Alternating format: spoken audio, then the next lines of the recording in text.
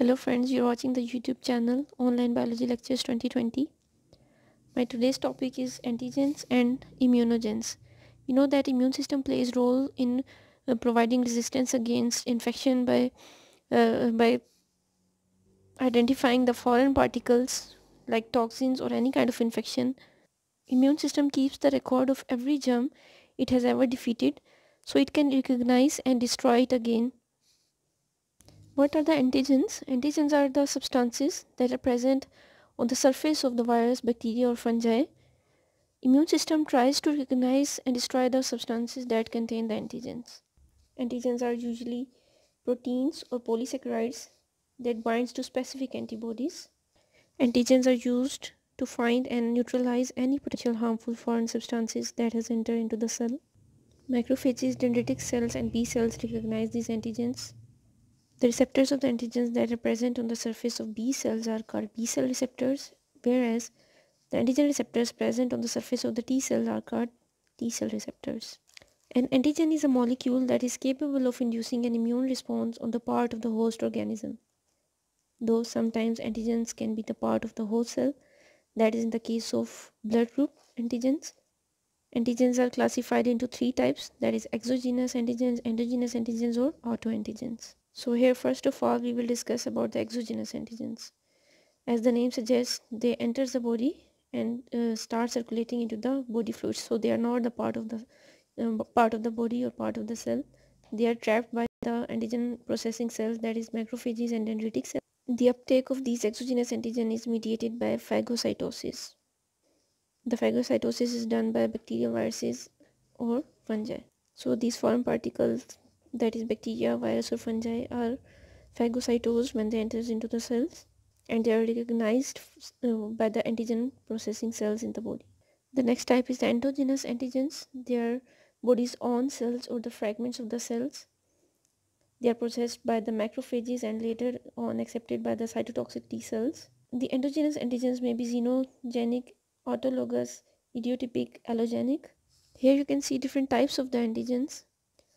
Autogens are the antigens that are person's self-antigens.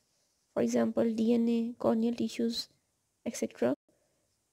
Alloantigens are the antigens that are found in different members of the same species. For example, red blood cells antigens A and B, etc.